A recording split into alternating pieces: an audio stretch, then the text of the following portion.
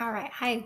Welcome back to school today. Again, we're doing another IXL lesson. We're still working with volume of rectangular prisms. So the previous lesson you guys worked on with me was um, finding volume of rectangular prisms with the cubes. But today they're not going to give you the little cubic units and show you everything. They're just going to give you the dimensions. Okay. So an example might look just like, so it won't look like this today. So we're going to say goodbye to all of that support and scaffolding. And today it might just look like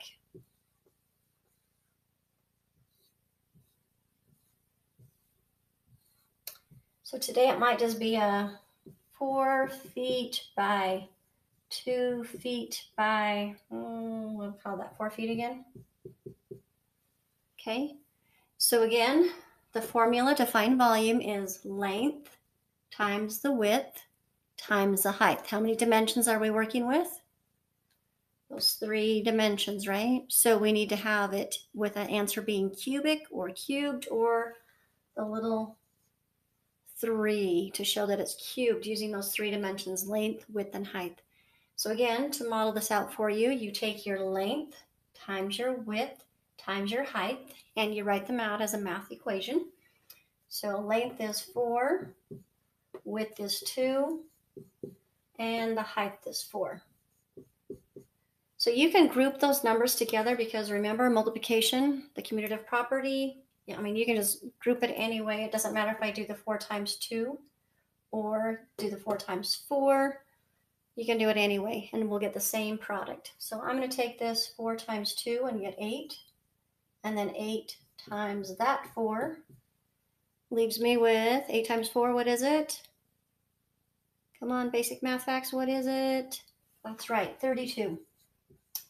My measurement label is feet, so I need to write my label over here, feet, and put the little three there to show that it's been cubed, showing that my answer is reflecting the volume because I measured the length, the width, and the height of that particular prism.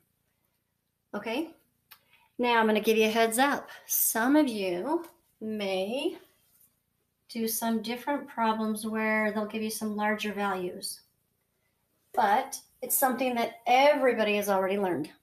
So doesn't matter who gets to this. What if they gave you a measurement of maybe 25 centimeters being multiplied by 18 centimeters by maybe 24 centimeters?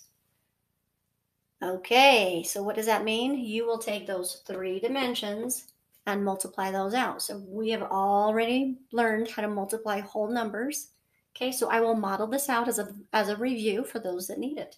So I'm going to take my length times my width. So 25 times 18, I have to make sure I keep everything lined up nice and neat, right? Okay, 8 times 5 is 40. 8 times 2 is 16. 16 plus 4 more. That's right, it's 20. Okay, are we good so far? Okay, then I know I'm finished with the four and I'm finished with the eight. So now I'm going to put in my space holder to represent that I'm now in the tens place value. So I'm in lined up to work in the tens place. Okay, one times five is five. One times two is two. I would add up these partial products and I would get 450. Well, that's just a piece of it. That's just figuring like the area because I just did the length times the width. I now need to figure in the height. So take that 450 and multiply it by the height of this rectangular prism.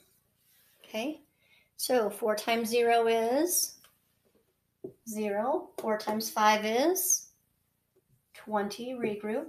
4 times 4 is 16 plus 2 more. That's right, 18. Okay, you do your X's and O's, cross out what you've used and won't go there again, putting your space holder to show that you are now in the tens place value position. Okay, so 2 times 0 is 0. 2 times 5 is, good, 10, regroup. 2 times 4 is 8, plus 1 more is, you got it, 9. Add up those partial products 9 plus 1 is 10. Okay, IXL is very fussy. You have to insert the comma or they will mark it as wrong. So start all the way back here. Jump in three place values. Insert your comma. Put on your label or they'll have it for you and we would say it's cubed. So if I had a box, okay, and the dimensions were centimeters, again, this is our bench, benchmark for a centimeter, the width of your pinky. If it was 25 centimeters by 18 centimeters by 24 centimeters high, we could put in, if all of these were in feet, okay, you could fit 25 square centimeters, 18 square centimeter, 25 little square centimeter pieces, 18 centimeter pieces, and 24 centimeter pieces. If you figure the whole volume, you could show that there would be 10,800 of these little square feet units in there, or centimeters.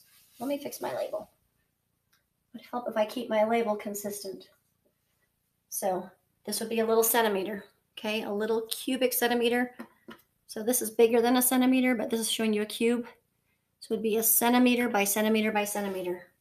We could fit in 10,800 little tiny centimeter cubic, little cubic boxes in to that whole box there. Okay. So again, volume is the capacity that can go inside of that. So 10,800 little tiny centimeter cubes could fill up this container. All right. So I hope you guys are feeling ready for volume of these rectangular prisms. Again, some of it will be very easy, just basic multiplication facts. Some of you might push yourself to go to the double digit multiplication that will then take you into the triple by the double. All right, you guys can do this. If you need any type of help at all, you know what to do, right? Call me, email me, text me, Google Hangout. I am here for you. Um, just whatever you need, let me know. Okay. Have a great afternoon. We'll see you tomorrow. Thanks for being here. Bye bye.